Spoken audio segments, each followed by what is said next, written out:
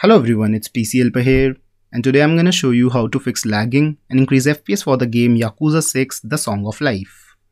In the beginning only I want you all to know that instead of focusing on the in-game graphic settings that you can change to reduce lag, I'll be focusing more on things you can do to improve your PC's overall gaming performance. As graphic settings changes from PC to PC depending on your graphics card so it is better to focus on other aspects too. But if you still want a video on best graphic settings, for best FPS for the game Yakuza 6, I can make a video on that. So just write in the comment section if you want that video too. So just make sure that you stick to the end of this video and perform all the steps very carefully and I can assure you that your game performance and your PC's overall gaming performance will surely be enhanced. And I want you all to know in the beginning of this video only that I only keep limited games in the PC I use for recording purpose. So I will use the game NBA 2K20 to demonstrate what you have to do with this game.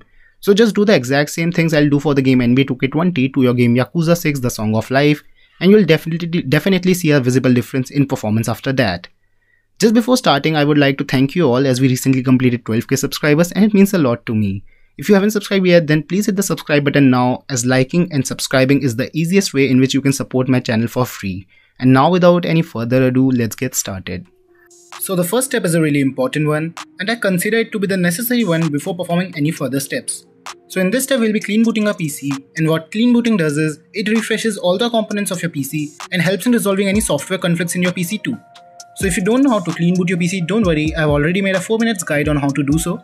So I'll provide you the link of this video in the description. Just watch this video, clean boot your PC and proceed to the further steps. And if you already know how to clean boot your PC, then just clean boot your PC and then proceed to the second step.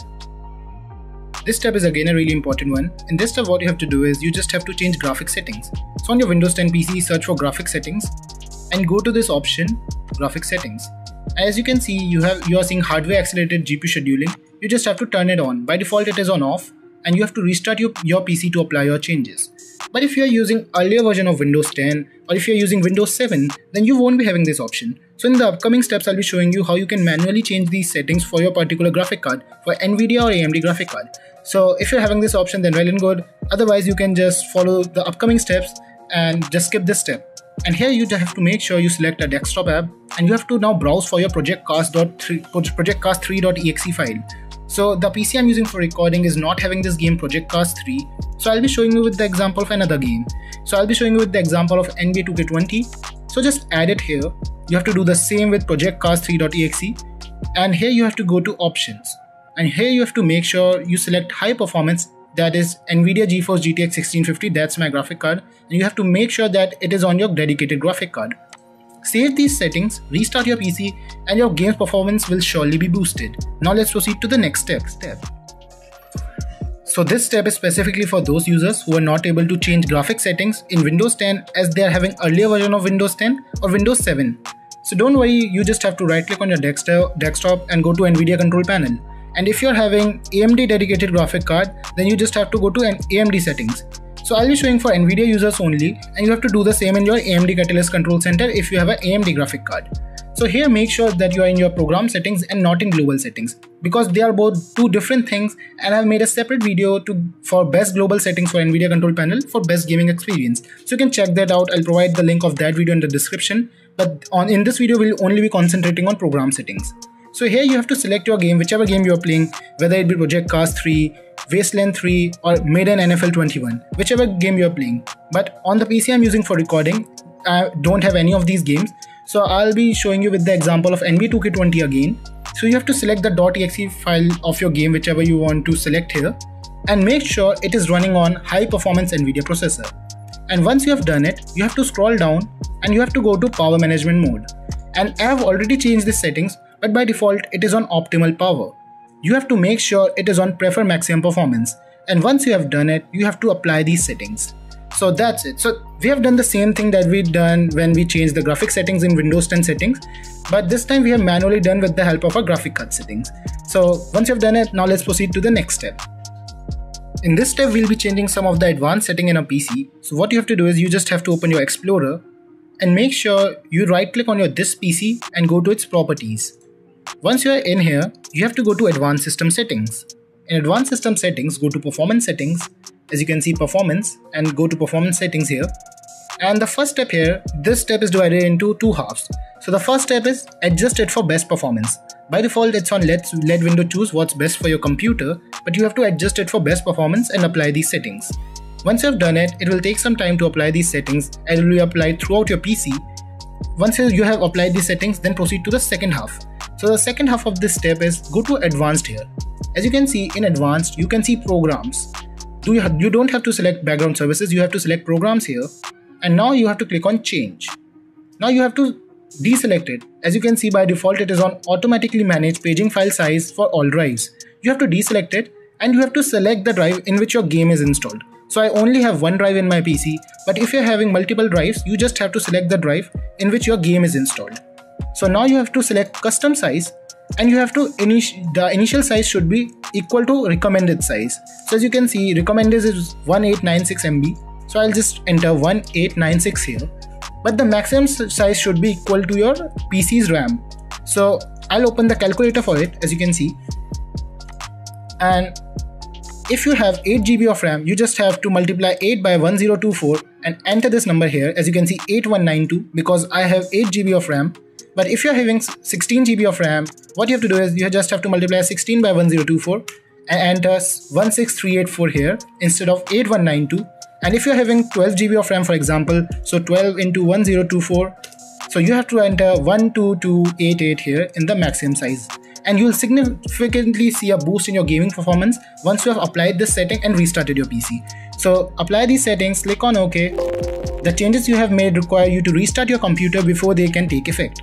So click on OK, apply these settings, again click on OK and that's it for this step. Restart your PC now and you'll again see a significant boost. Now proceed to the next step. Now this step will provide a temporary boost to your PC's performance as in this step we'll be deleting all the temporary files. So you just have to open run app here and here you have to search for temp which stands for temporary files. Click OK and here as you can see I have 19 files. I've recently deleted all the files here but still I have 19 files. So if you have not deleted your temporary files in a long time then you might be having a lot of files here. So make sure to delete them permanently. And once you have done it apply here click on continue and delete them.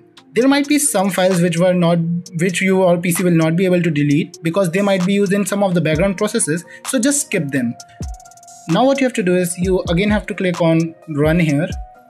And here write percentage sign temp temp again and again the percentage sign as you can see here click on ok and again as you can see i have 169 temporary items and don't worry these are all junk files just like cache memory and uh, just delete all the files here too it will take some time to be deleted as you can see.